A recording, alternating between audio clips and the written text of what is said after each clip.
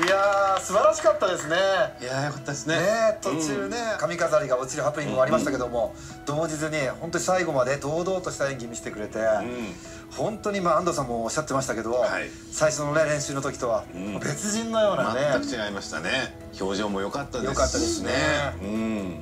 本番前にもん。シーンあるってうん。そうだね。玲奈ちゃんの口から聞けてたので私もそれでちょっと安心しつつ、ん。まあでもやっぱり実際見てたらヒヤヒヤヒヤヒヤ そのコンビネーションジャンプの時とかね。すっごいヒヤヒヤしたけど結果本当に、ね、その自信がちゃんと演技にも表情にも出てたなと思って。それだけ練習してきたっていうのがね自信になったんでしょうし、練習の時に安藤さんがねあそこにいていろいろ声かけてくれるっていうのが良かったですよね多分。ねあれ素敵でしたね。ね他の選手は冗談じゃないと思ったんですよかもしれませんけど。もいやいやもうセコンド強すぎるやろみたいな。いやでもそれはねこっちはカメラと共にというね、そうですよ。のあれこもありますから。っちにはもうはい。それはそれでこっちはこっちで大変なんでね。